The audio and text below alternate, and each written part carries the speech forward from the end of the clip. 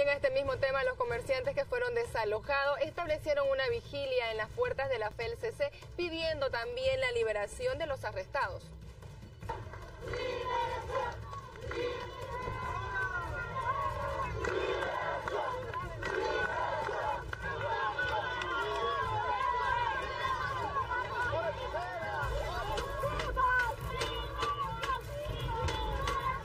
Furiosos por la detención de sus compañeros, comerciantes ambulantes trataron de ingresar por la fuerza a dependencias de la FCC, donde fueron llevadas las personas que fueron arrestadas en el enfrentamiento suscitado esta mañana. Efectivos policiales de esta unidad no permitieron el ingreso de toda la multitud. Queremos la liberación de nuestros compañeros que están presos allá adentro. Tenemos compañeros que están maltratados allá adentro. Queremos la liberación de ellos, pero ahora, si no, no nos vamos a mover de acá.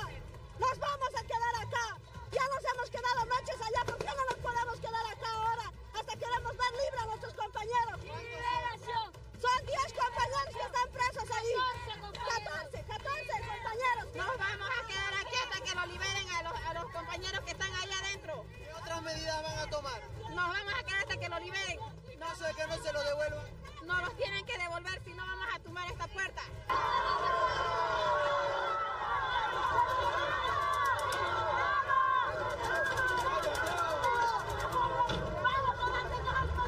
Luego de ejercer tanta presión a las afueras de la FELCC, finalmente se decidió liberar a los comerciantes que fueron arrestados. Medidas totalmente arbitrarias, medidas que nos han dado el Consejo a golpes a personas mayores, a niños, a personas discapacitadas. Se aprovechan de que ellos son autoridad y no se les puede, según ellos, decir nada. Pero aquí ven el pueblo, el pueblo va a seguir de pie, nosotros los gremiales estamos para defendernos. Por su parte, la alcaldía indicó que se guerrillaron en contra de las personas que estaban arrestadas y también contra sus dirigentes por incitar a los conflictos. Ya presentamos la denuncia nosotros como gobierno municipal.